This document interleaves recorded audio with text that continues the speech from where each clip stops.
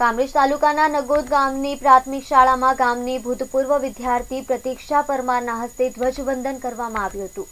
તોતેરમાં પ્રજાસત્તાક દિન નિમિત્તે સુરત જિલ્લાના કામરેજ તાલુકાના નગોદ ગામની પ્રાથમિક શાળામાં ધ્વજવંદનનો કાર્યક્રમ યોજાયો હતો. રાષ્ટ્રગીતોની સાથે દેશભક્તિના માહોલમાં યોજાયેલા કાર્યક્રમમાં શાળાની ભૂતપૂર્વ વિદ્યાર્થીની અને ઇન ગુજરાત ન્યૂઝ ચેનલ સાથે પત્રકાર તરીકે કાર્યરત પ્રતીક્ષા પરમારના હસ્તે ધ્વજવંદન કરવામાં આવ્યું હતું. આ ધ્વજવંદનના કાર્યક્રમમાં શાળાના વિદ્યાર્થીઓ તેમજ ગ્રામજનો મોટી સંખ્યામાં ઉપસ્થિત રહ્યા હતા.